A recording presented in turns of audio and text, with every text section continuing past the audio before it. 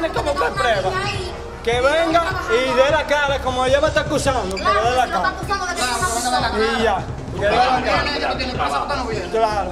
¿Cómo te llamas? Yo lo que sí Yo me llamo Anthony Anthony Batista Batista Tavera. Lo que quiero es que se investigue el caso aquí. Porque esto no se puede quedar impune. Porque esta gente lo que quiere es estarse viendo con cuarto. Ella tiene un primo ahí en la discrin que le está removiendo el caso. Me, me, me partieron la puerta en mi casa. Yo quiero que se investigue el caso. Muchacho como ella es una cuernera que le, ha dado con los- le dio a él porque no pudo con nosotras las mujeres que se investigue el caso aquí en esta justicia. La situación es que en mi casa hubo una riña entre dos hermanos.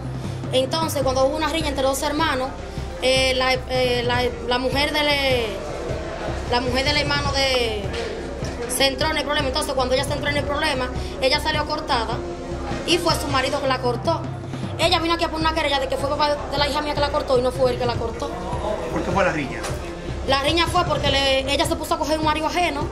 Entonces, cuando se puso a coger un marido ajeno, eh, se puso a buscar problemas, se puso a buscar conflicto. Entonces, al papá de la hija mía le dijeron una palabra indebida que no debieron de decírsela.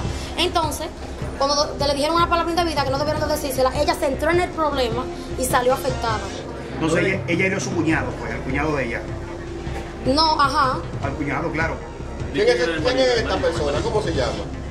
Eh, Anthony Batista Tavera, ¿Y de quién era el marido? ¿Cuál es el marido? de una amiga de ella. Ella se puso a cogerlo. Sí. ¿Cómo? ¿Cómo se llama esa amiga? Eh, Darlene, Darlene, Darlene Santana. ¿Dónde fue? comenzó a cogerlo. En Vista del Valle, mamá tengo.